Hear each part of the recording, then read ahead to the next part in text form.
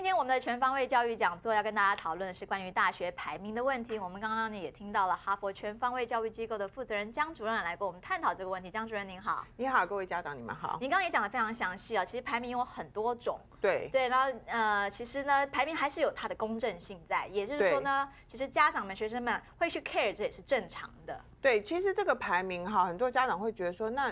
是谁说的？谁说他第一名啊？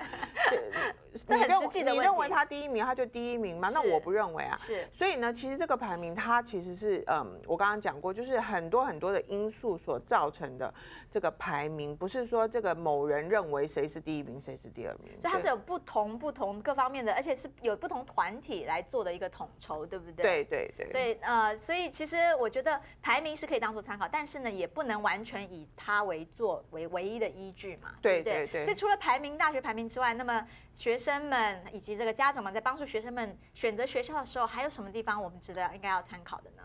对，我想参考的东西很多啦，像比如说你想要读什么专业啊，因为有些还有些学校它的排名可能就是说它。总体排名并不是很高，但它某一个科系的排名特别高。那这个时候呢，如果你是要读那个专业，可能你可以考虑，因为你将来去搞找工作的时候，那个业界的人可能都听过这个学校，也都知道这个学校这个专业是非常好的。对对，所以呢，这个呃科系的问题还是要参考。我觉得现在还是会，因为很多人会觉得说，现在到底大学文凭有没有用？可是我觉得还是某一些，比如说尤尤其是一些私立学校，如果说你是这种所谓的艺术科系出来的啦，或是这种高科技业出来的。听到你是某一个学校出来，就觉得说哦，那个学校的 program 不错，出来学生应该都相当不错。对，就是像技术，就是有一种技术类，对对对。其实这个是蛮重要。再来的话，就是说学校的文化，像你自己念 Berkeley，你知道 Berkeley 是一个很。就是很自由、很自由、很人文的一个。对对，如果你是一个很静，然后你不喜欢比较严肃，也比较拘谨、比较传统的，你去那里可能你自己很痛苦，你自己不舒服，对不对？对。虽然 Berkeley 的排名一直蛮前面，所以也不能完全就是照着这个排名来走，因为有时候呃，父母亲，尤其我觉得父母亲有时候会倾向于就是说啊，这个学校。排名很前面，亲友都听过，对，尤其是像 Berkeley 啦，对，可以跟南加大，对对对，像这样的话，我们怎么样去修正他们这种观念呢？呃，我觉得跟亲友炫炫耀不是说这个呃没必要啦。其实我也是妈妈，我觉得多多少少都还是要能够讲得出口啦。但是我觉得那个应该不是第一个考量啦，就是第一个考量还是要适合你自己的小孩。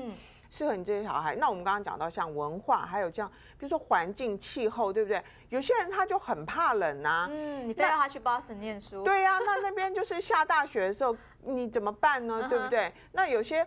小孩子就是呃，基本上他不是一个很独立，那你一定要把他推到很远，或者是有些小孩翅膀很大，就是在家里一直会跟父母起争执，因为他是一个意见很多的人。那你如果说呃不把他送到远一点的地方，硬要他住在家里，那也不是一个很好的一个安排嘛。是，对，所以像这些都是要考虑。那我觉得还有一个蛮实际的问题就是学费啦，对不对？学费是不是要考虑呢？多多少少还是要考虑。可是。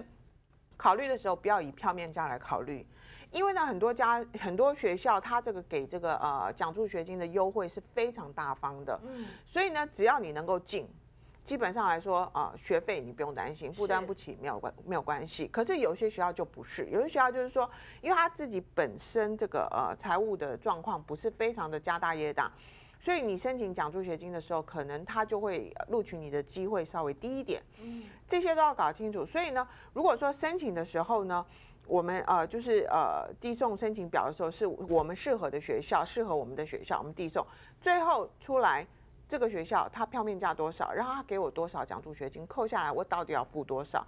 那每一个学校相比较，我才来选择最后我要去哪个学校。所以真的是选择学校是要从各方面来考量的，有太多太多。但是呢，其实也是很重要的考量，一定要慎选，因为毕竟你将来四年都是在那边过生活，而且呢，为你的未来的一些这个工作发展上面是打下很好的基础，所以一定要慎选。对啊，你一辈子的朋友可能就是在大学遇到。没错，非常谢谢江主任今天来到我们节目当当。中告诉我们这么多重要的资讯，真的有时候家长们不要太迷信排名，排名可以作为参考，但是呢，最重要的还是要选择适合自己的孩子，我们可以更发展启发孩子们兴趣的学校。